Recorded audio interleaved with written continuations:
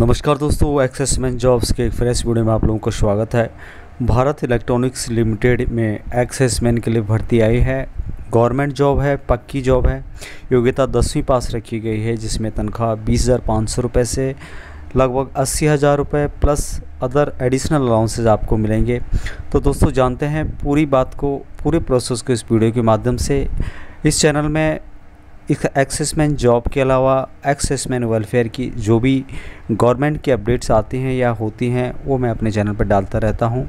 दोस्तों, वीडियो पसंद आए तो लाइक कीजिए, अपने दोस्तों के साथ शेयर कीजिए चैनल को ज़रूर सब्सक्राइब कीजिए और घंटी का निशान दबाना ना भूलें। दोस्तों, भारत इलेक्ट्रॉनिक्स लिमिटेड जिसको बीएल बोलते हैं, जो कि भारत सरकार रक्षा मंत्रालय के अधीन आती है और डिफेंस के लिए इक्विपमेंट बनाती है चाहे आर्मी एयरफोर्स नियर, नेवी, जो भी हैं, सभी के लिए इक्विपमेंट बनाती है। उसके लिए वैकेंसीज यहाँ पे आई है और सुरक्षा विभाग में पूर्व सैनिकों की आवश्यकता है।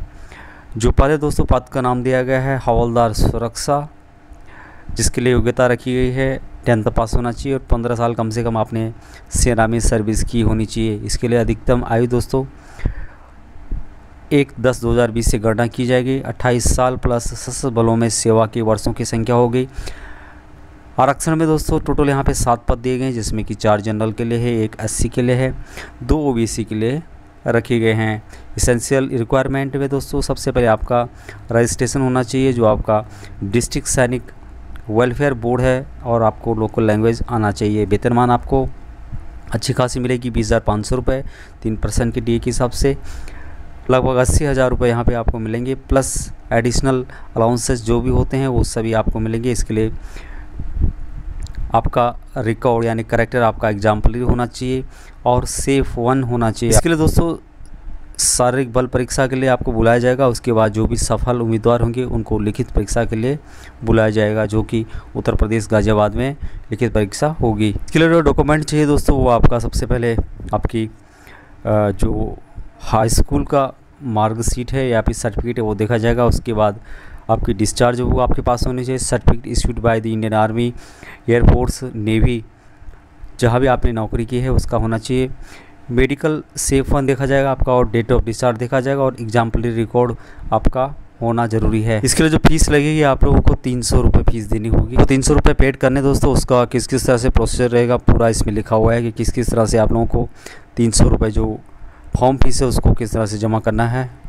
इसके लिए किस तरह से अप्लाई करना है दोस्तों? इसका पूरा डिटेल्स यहाँ पे दिया गया है कि आवेदन करने के इच्छुक अभ्यर्थी अपने आवेदन निर्धारित प्रारूप में रजिस्टर्ड या जो स्पीड पोस्ट होता है या कोरियर के माध्यम से द्वारा पात्रता संबंधित अहर्ता दस्तावेजों की प्रतियों के साथ और कंपनी के चालान की प्रति जर्नल नंबर के साथ एक सीलवन लिफाफे में स्पष्ट कवर पर लिखा आवेदन सुरक्षा हवलदार के पद के लिए ऐसा लिखा होना चाहिए।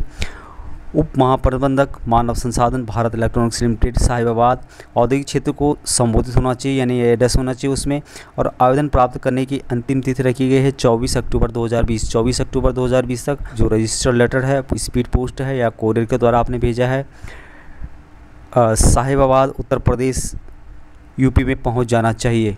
पूछताछ के लिए यहाँ पर बी की वेबसाइट दी गई दोस्तों, जिसको कि उस पर आप लोग इंक्वायरी करके या ईमेल करके ज़्यादा जानकारी ले सकते हैं।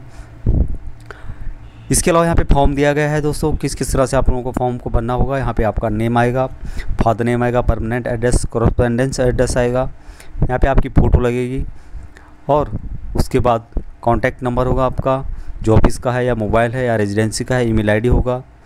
कैटेगरी आप लोगों को चूज़ करना होगा, आप जनरल में हैं ओ बी या एससी में हैं डेट ऑफ़ बर्थ एज आपको लिखनी होगी दोस्तों year month date of joining of defence service date of discharge from defence service उसके अलावा आप लोग किस कम्युनिटी uh, से बिलोंग करते हैं? Muslim Christian Sikh non Buddhist या फिर अन्य? उसके अलावा मेडिकल कैटेगरी आपकी क्या है? डिस्चार्ज बुक में। क्लेरिफाई करना होगा आप लोगों को। उसके अलावा आर्मी एयरफोर्स नेवी, आप किसके एक्सेसमैन है, किससे एक्सेसमैन है, वो आप लोगों को लिखना होगा। सर्विस नंबर रैंक लिखना होगा। रजिस्ट्रेशन नंबर जो कि आपने सैनिक कल्याण बोर्ड में आपको मिला हुआ है। उसके अलावा करेक्टर ऑन डिस्चार्ज बुक आपका क्या रहा है, वो आपको लिखना होगा यहाँ पर एजुकेशन प्रोफेशनल क्वालिफिकेशन आप लोगों को भरनी होगी दोस्तों। एजुकेशन किस बोर्ड से आपने किया है, किस ईयर में किया है, कब से कब तक पासिंग ईयर क्लास ग्रेड आपका क्या रहा सब्जेक्ट आपके क्या क्या थे, उसके बाद डिटेल्स ऑफ़ कोर्स या कैडर रजिस्टरमेंट कोर्स आपने क्या क्या किया है, उसका पूरा डिटेल्स यहाँ पे आएगा। प्रजेंट एम्प्लॉयज़ पार्टिकुलर्स यदि आप प्रजेंट कहीं नौकरी करते हैं, उसका डिटेल्स आपको यहाँ पे भरना होगा। और यदि आप कहीं सिमी गवर्नमेंट या फिर पब्लिक सेक्टर प्राइवेट सेक्टर में कहाँ नौकरी करते हैं, और कितनी आपकी तनख्वाह है बेसिक सैलरी क्या है डी अलाउंस क्या है house rent allowance city allowance क्या है, और टोटल आपकी पर मंथ कितनी तनख्वाह बनती है, वो आप लोगों को लिखना होगा। आप बीएल में नौकरी के हैं पहले टेम्प्रेरी बेस पे तो आप लोगों को लिखना होगा। लैंग्वेज के बारे में लिखना होगा दोस्तों लैंग्वेज की डिटेल्स आपको देखनी होगी। ये पूरा भर के दोस्तों, और नीचे साइन करके आप लोगों को जो पहले एड्रेस बताया था, उस एड्रेस पे भेज देना होगा, जो कि आप लोग स्पीड पोस्ट कोरियर या फिर रजिस्टर के माध्यम से भेज सकते हैं। और जो डेट दी गई थी पहले, उस डेट तक आपका एप्लीकेशन वहाँ पे पहुँच जाने चाहिए। यानी चौबीस अक्टूबर 2020 से आपका एप्लीकेशन पहुँच जाना चाहिए। ये जो नोटिफिकेशन मैं आप लोगों को पढ़ के बता रहा हूँ दोस्तों, ये वीडियो के नीचे डिस्क्रिप्शन में आप लोगों को मिल जाएगा। वहाँ पे ग्रुप्स हैं व्हाट्सअप ग्रुप है फेसबुक पेज है, वहाँ पर इसका नोटिफिकेशन अपलोड मैं कर दूँगा। वहाँ से आप लोग डाउनलोड करके इसको पढ़ सकते हो। इसके फॉर्म को डाउनलोड कर सकते हो या फॉर्म को कंप्यूटर से बना सकते हो और भेज सकते हो। आज के लिए दोस्तों इतना ही। चैनल में पहली बार विज़िट कर रहे हैं तो चैनल को सब्सक्राइब कीजिएगा। अच्छा लगे तो लाइक और शेयर कीजिएगा। जय हिंद दोस्तों, जय भारत।